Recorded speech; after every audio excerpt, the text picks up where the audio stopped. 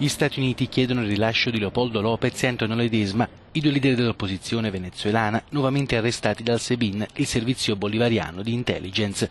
La Casa Bianca parla apertamente di azioni della dittatura di Maduro, sottolineando che il presidente venezuelano sia personalmente responsabile per la salute e la sicurezza degli arrestati.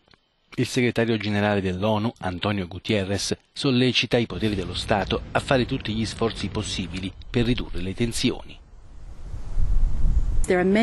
Stando alle informazioni in nostro possesso c'è stato un uso eccessivo della forza. Abbiamo ricevuto anche rapporti di interventi condotti casa per casa dai funzionari di polizia.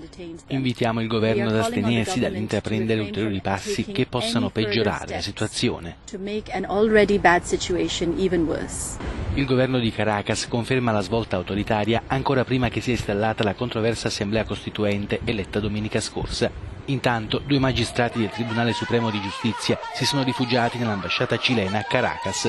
Altri tre giudici sono stati arrestati dal servizio di intelligence, almeno uno di loro è in esilio e gli altri sono passati alla clandestinità.